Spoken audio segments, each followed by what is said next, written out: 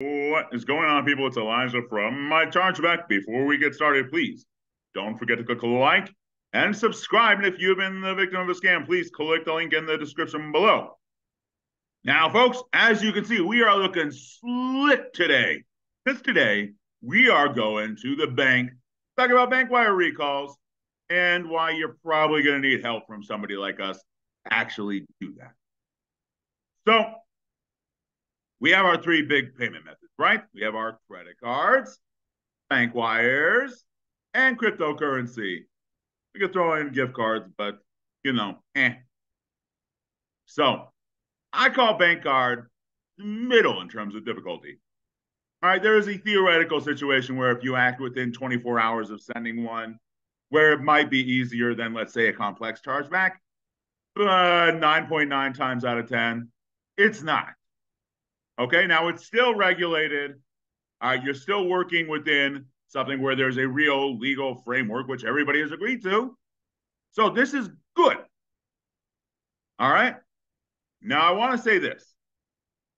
Out of every 10 people who contacts us saying that they paid their scammer via bank wire, seven or eight usually end up being crypto, where they ended up going and using a bank wire to buy crypto and then paying the scammer in crypto, in which case it's a different thing altogether. But let's say you're one of the two or three that really did pay via bank wire, right?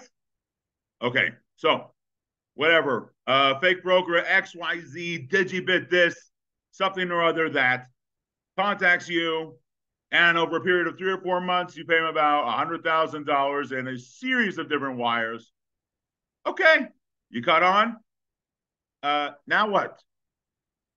Well, for starters, you're going to have to recognize that you do not have the same rights and protections under the bank wire stuff that you would have under the credit card. But no sense in crying over spilt milk because it's too late for that. You have to initiate what is known as a SWIFT recall. SWIFT being, of course, the monetary mechanism that everybody agrees on, everybody uses, that moves money throughout banks throughout the world. If you remember early on in the Russia Ukraine war, the big talk was removing Russian banks from SWIFT. It's that kind of important. Now, what makes bank wire recalls tough is that banks don't like to admit that they made mistakes. Your bank is not going to want to admit that they didn't throw up a huge red flag warning after they saw you send five transactions worth $5,000 a piece over a week to some bank, you know, I don't know, pick an offshore country. Go with that. And uh, well, your scammers bank, oh, they do not want to admit that they have a client that is a scammer. Because guess what? They kind of want to keep their clients, and they kind of don't want to have anybody investigating them. All right. Some of the biggest scams throughout history I've gotten some pretty big banks in a lot of deep doo doo. Now, what does all this mean for you?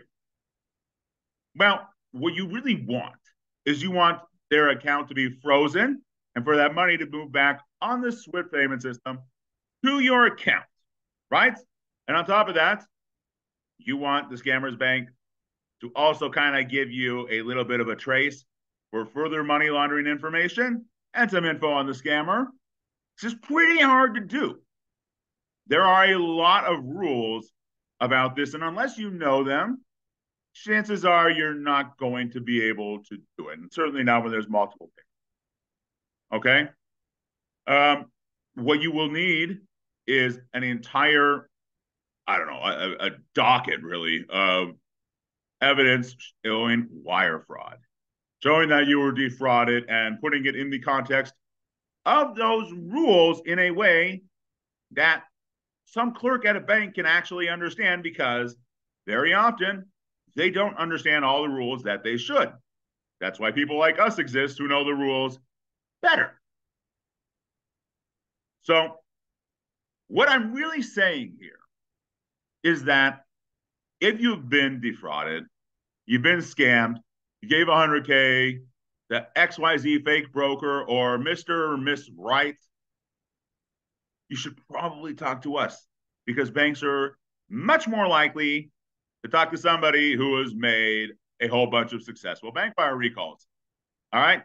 We've covered tens of millions for people, worked with 850 banks in over 100 countries across the globe. What I'm saying when it comes to the subject of bank wire recalls is you're probably going to want to talk to us. Let's leave it at that.